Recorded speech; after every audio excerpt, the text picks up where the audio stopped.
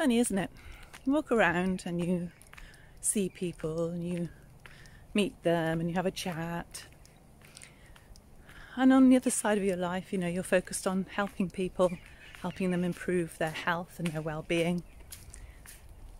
And you bump into somebody, one of your neighbours, and you think, oh, he's looking trim.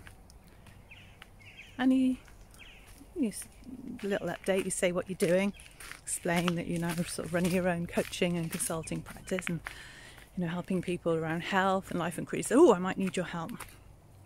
And you say, oh, oh you look looking pretty good. And um, next thing they say is, oh yeah, well I've lost a stone. Said, um, yeah, I got you know problems with my cholesterol.